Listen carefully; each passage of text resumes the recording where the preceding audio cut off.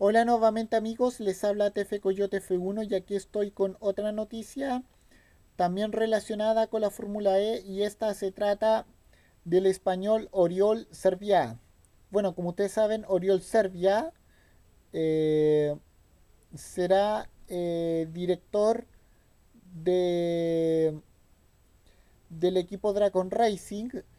Como sabemos, dirigirá al equipo estadounidense Dragon Racing para, desde este EPRIX, desde este próximo EPRIX eh, que se disputará en Miami este 14 de marzo, este sábado 14 de marzo.